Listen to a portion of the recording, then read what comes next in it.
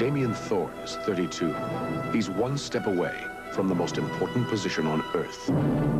But beware, for he is the son of Satan. I stand before you in the name of the one who is cast out from heaven, but is alive in me. Prepare for the concluding chapter of the Omen trilogy. The Final Conflict, rated R. Now playing at a selected theater near you.